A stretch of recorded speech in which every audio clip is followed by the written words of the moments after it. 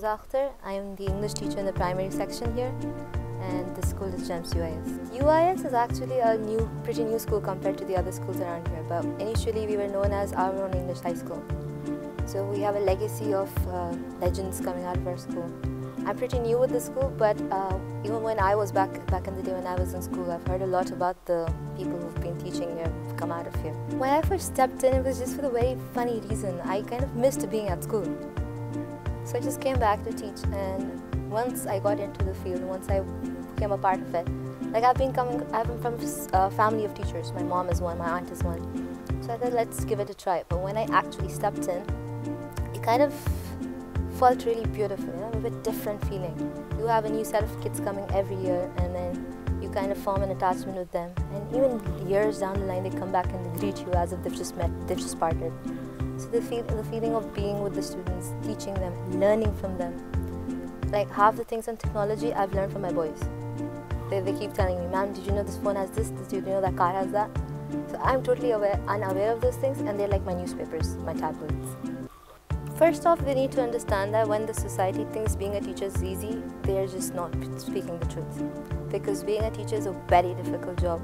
It requires loads of patience and a large amount of sacrifice from your side. So if the child wants to be a teacher for a high pay scale or a reputation or something, that's not going to happen. It's, it's, a, it's like a social service kind of thing. I hope it's not filled with technology alone. Because right now we see a, a switch from chalk and board to a technology oriented one. I kind of feel that technology is taking away the child's imagination as well. So if there's a right balance, like technology teaches you after you've learned how to imagine things.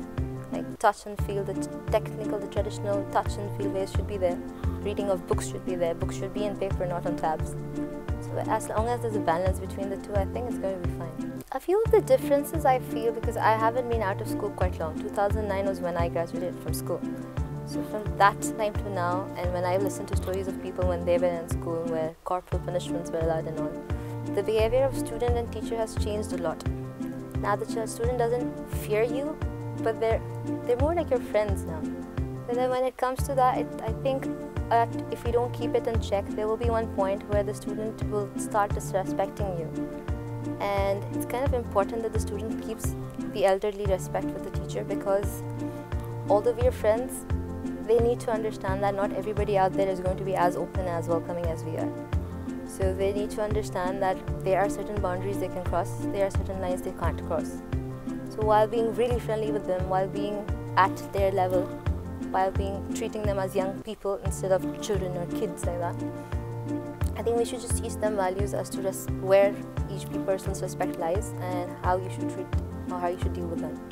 I think that's the world's biggest misconception. Being a teacher is a short duration work. The minute you go home, you're free from your responsibilities. That's the biggest joke of the century. I am not, I don't even have a family to look after yet because I'm, I'm still single. But when in my own household, I do not find enough time to do anything for myself. I'm always thinking about the school. I'm always thinking about my children. Everything I see something on the stationery stand, I'm like, this will be nice in the school. A person like as free as me, I do not have a mental space away from the school. So I, I really appreciate the teachers who've come down with their own families and they go back home and they never ignore any of their household chores. So it's like they are doing two 24-hour jobs in one 24-hour span. That's why it's really hats off to those people. So all those who think teaching is an easy profession, they really need to understand that a teacher never stops being a teacher, whether at home or at school.